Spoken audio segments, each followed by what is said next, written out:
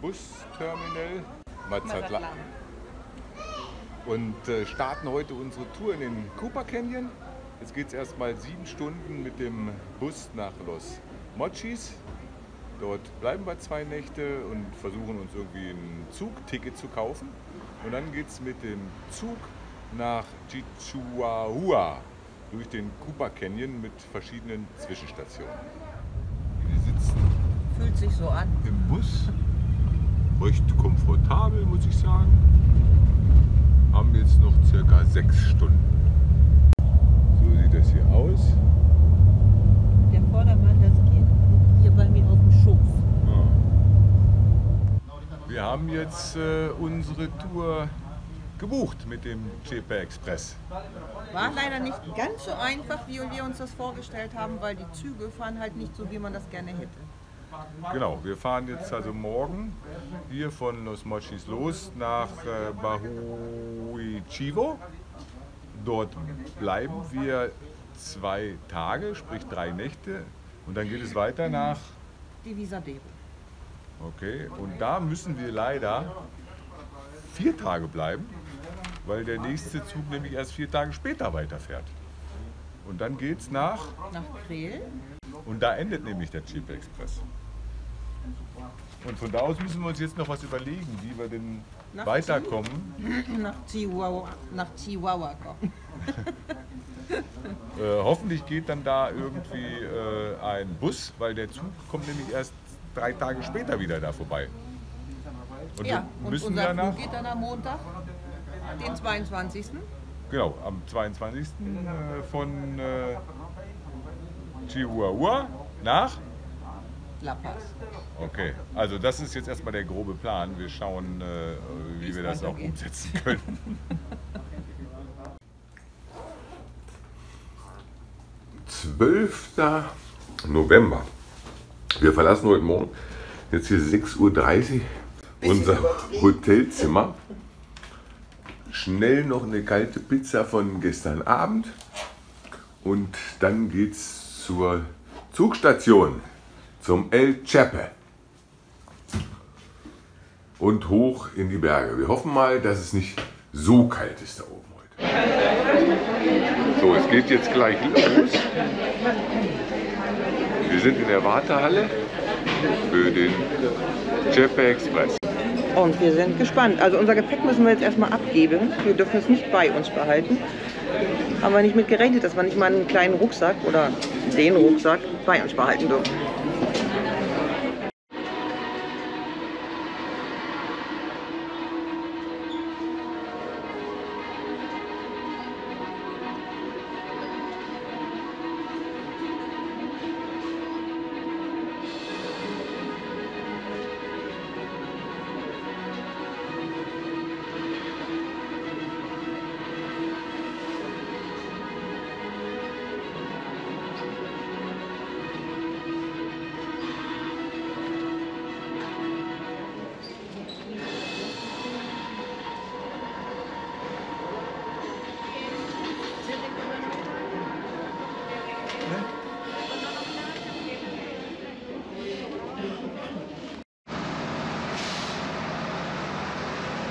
Erstmal das Gepäck hinbringen.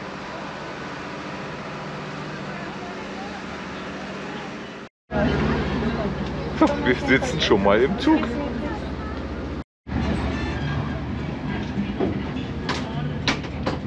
Ja, das ist hier der Zug.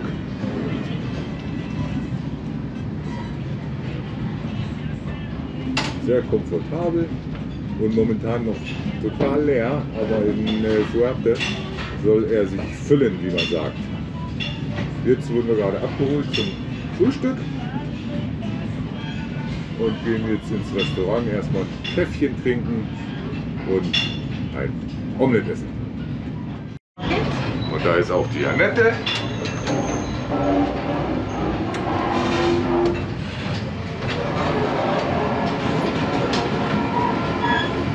Ist nicht ganz so abenteuerlich wie auf Sri Lanka, aber nicht schlecht.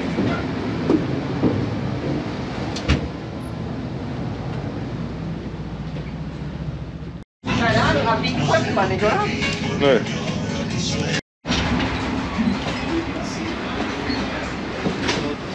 Ah, super. Frühstück. Auf geht's. Guten Appetit. Dankeschön. Mein Geburtstagskind. Ich hatte es schon. Ah, nein, das hatte ich schon vermutet, gleich am Anfang. Der Michael hat Kopfhörer geschenkt gekriegt, In-Ohr, Kopfhörer. Dankeschön, mein Schatz. In der Bar.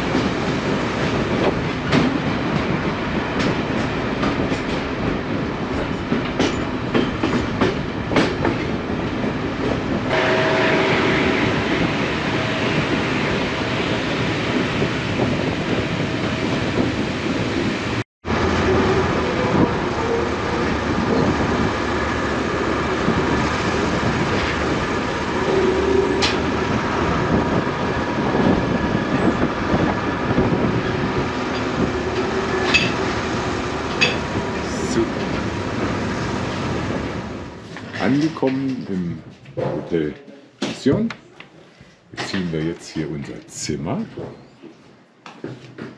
Die Annette ist, glaube ich, auch da. Wie gefällt es dir? Sehr schön. Ja, da hätten wir noch zwei mitbringen können. Ja. Mit Holzofen zu beheizen, falls es heute Nacht kalt wird.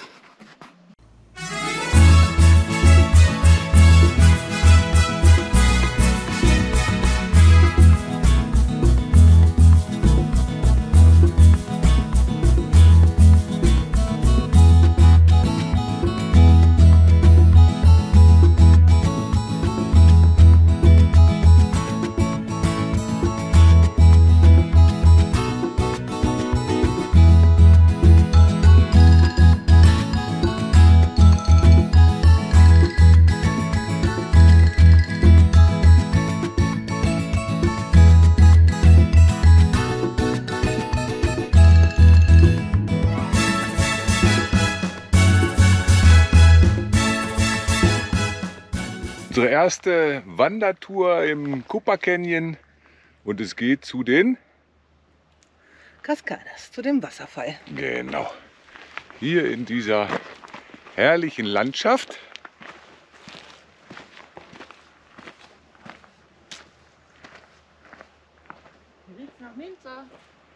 Und hier wachsen überall nur noch Kiefern und Nadelbäume. Wir sind hier auch auf 1600 Meter über dem Meeresspiegel.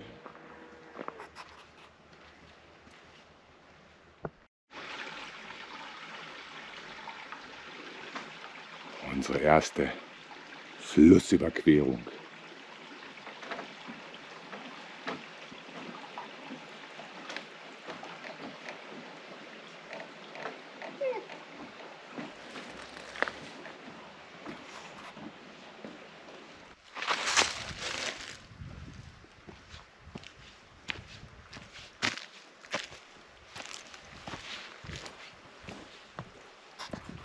Hat sie die Zunge ausgestreckt? Das wissen wir nicht. Wir haben es geschafft. Wir sind am Wasserfall. Obwohl Ende Regenzeit, da müsste eigentlich sehr viel Wasser drin sein, aber es ist nicht so viel Wasser drin. Aber schon ganz schön hoch das Ding. Ja.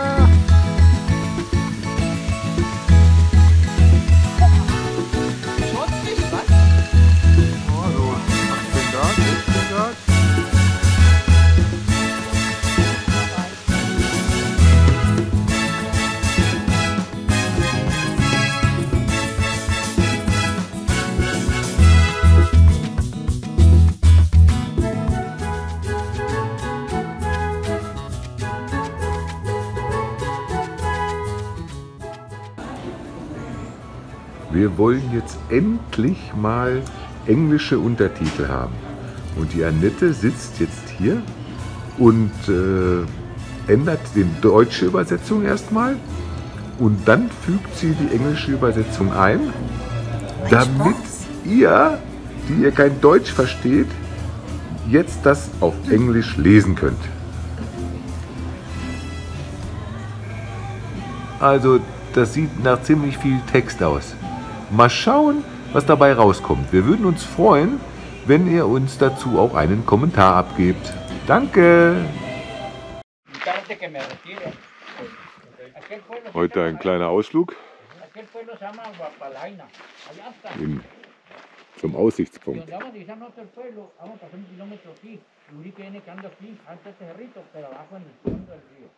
Wahnsinn.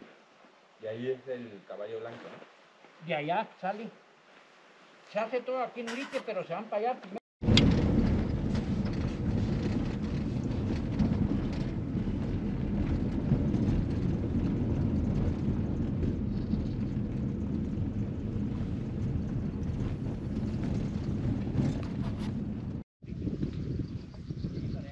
Wir sind am Aussichtspunkt.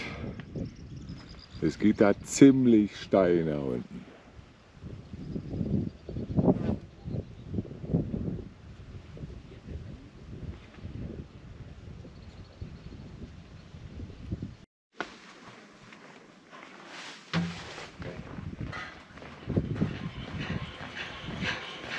Uh.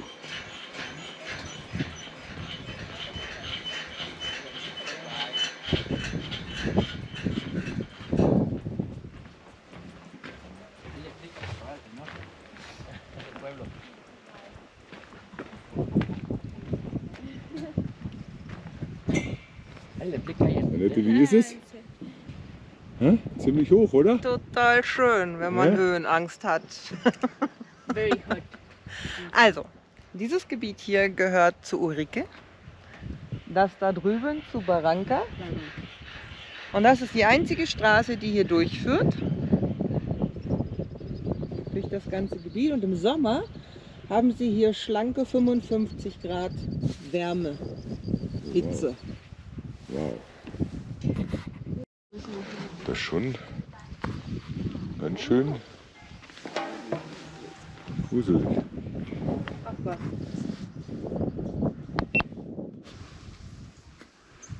Also total cool hier.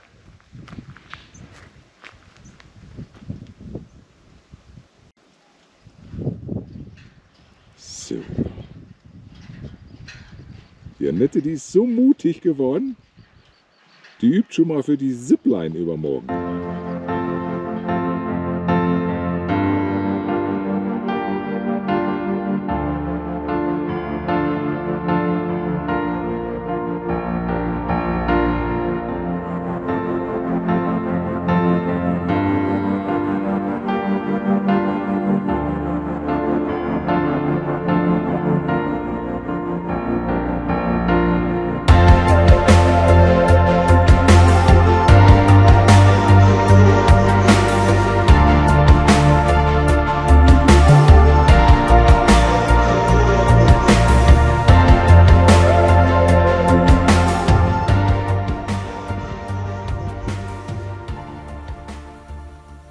Unser Kamin funktioniert hier perfekt und das Anzünden ist total einfach. Es gibt hier dieses Holz, das ist Okotte, das ist so harzig, da braucht man nur kurz mal mit dem Feuerzeug dran und schon brennt das. Davon zwei Stück unter das Holz und der Ofen rennt.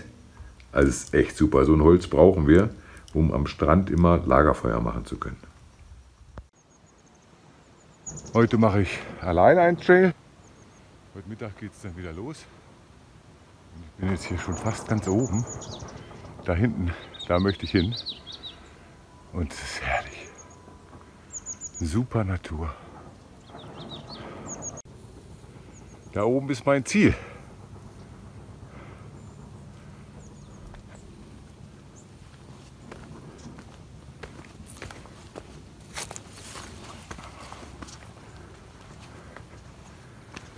Oh, ist das cool. Da hinten ist das Dorf, wo unser Hotel ist.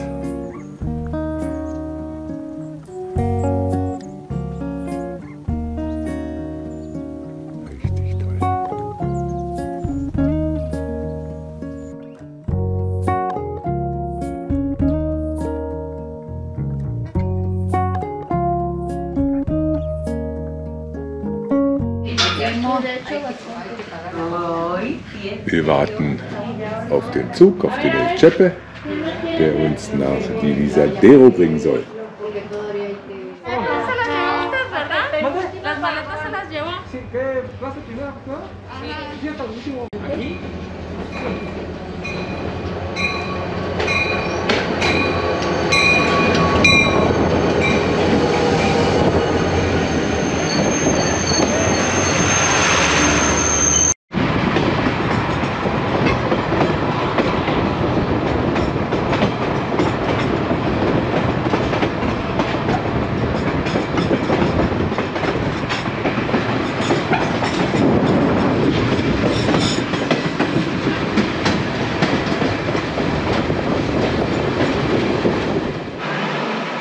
Angekommen in Devisadero.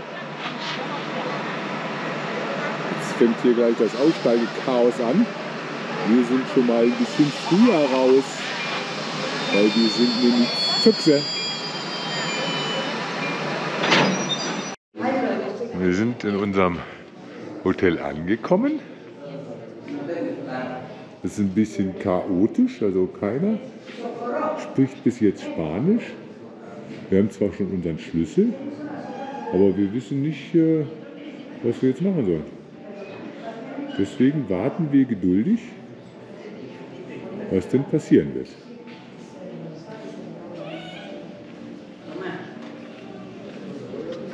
Da hinten ist die Sonne schon untergegangen und auch die. Annette wartet geduldig. Und nach, abajo. nach ungefähr 100 Höhenmetern haben wir jetzt hier unser Zimmer gefunden. Oh, das sieht nett aus. Hat leider keinen Ofen wie das letzte, aber einen Heizstrahler. Ah, okay. Weil es soll nämlich übermorgen nur 3 Grad warm werden. Ja. Oh, 6.25 Uhr. Mir zu Füßen liegt jetzt der Copa Canyon. Und gleich geht die Sonne auf.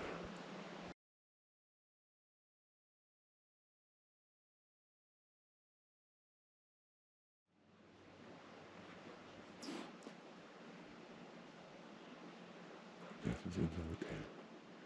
Direkt am Canyon.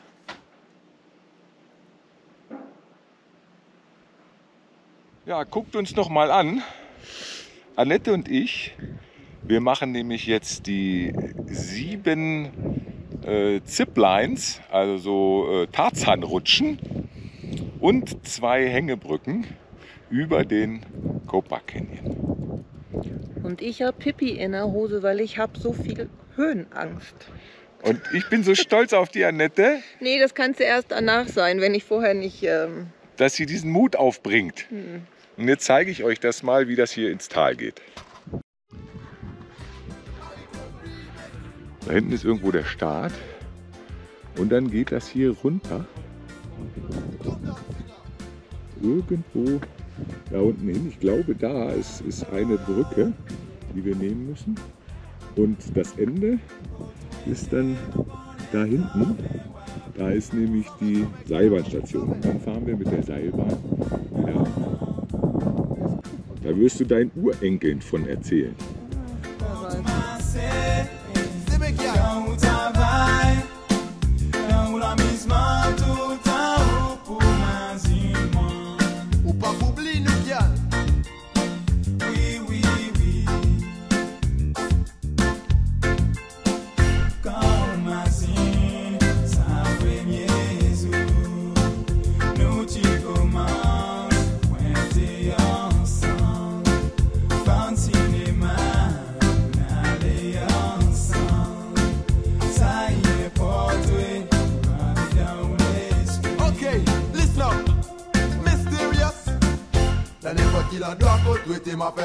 Mon la voix, mon les fait